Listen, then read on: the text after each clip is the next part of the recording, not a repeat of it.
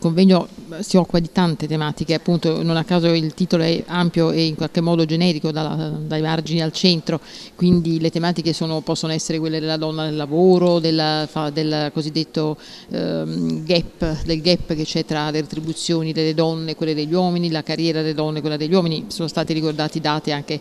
da alcune delle,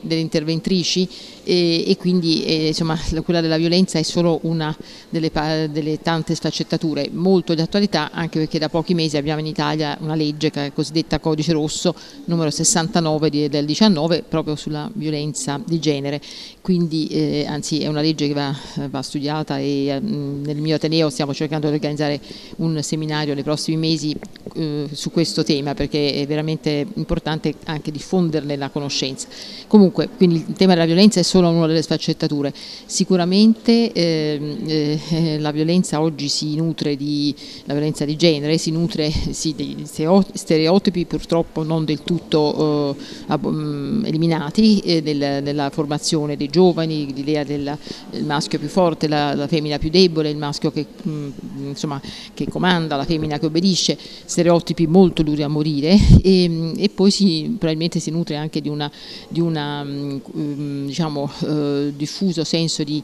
insicurezza, sentimento di insicurezza che pervade il genere maschile per via del fatto che le donne hanno acquisito, appunto, sono sempre meno ai margini, sempre più al centro, quindi l'uomo che prima si trovava di fronte una donna disarmata dal punto di vista anche culturale, eh, te, tendenzialmente votata alla vita familiare, alla vita domestica e adesso si trova di fronte a una donna in carriera, spesso più potente di lui, spesso mh, diciamo più avanti di lui nella carriera, più colta eccetera o comunque non meno colta, eh, secondo me questo genera sentimenti di grande insicurezza e, di grande, e fa vacillare quelle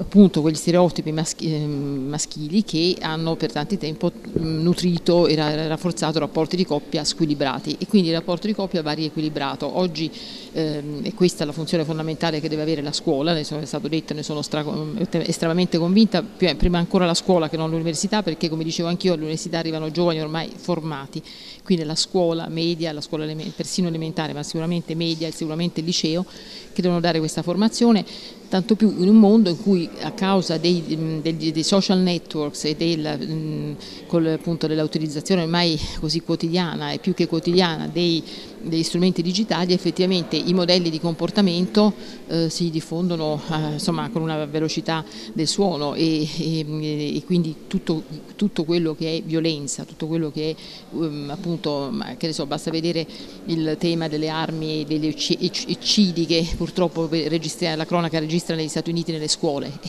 E, è chiaro che una, una mm, diciamo, continuo utilizzo degli strumenti di informazione di massa che oggi sono velocissimi e in, in tempo reale ci danno queste immagini possono costituire un, un, in qualche modo un modello che è un modello ovviamente del tutto negativo quindi bisogna combattere anche su quello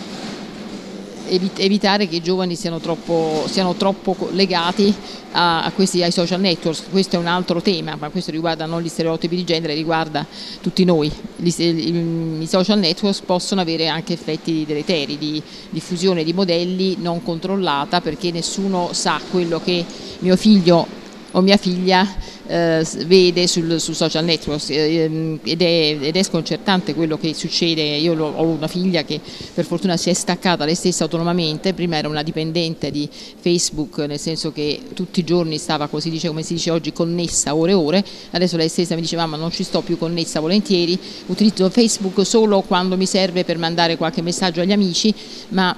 non mi va di stare connessa tutti i giorni perché arrivano messaggi di violenza e quindi è sicuramente qualcosa che anche questo va controllato, non a caso tante, eh, un dibattito molto forte anche eh, in tutto il mondo è quello del controllo dei, dei, dei grandi della, del web, non soltanto per quello che possono eh, fare diciamo, in tema di violazione della privacy, ma anche possono, i danni che possono arrecare in tema di diffusione incontrollata di modelli di comportamento negativi. Quindi io sono d'accordissimo su questo, è una delle sfide che oggi abbiamo davanti, la regolazione dei, dei giganti del web. Quindi sicuramente c'entra molto questo discorso.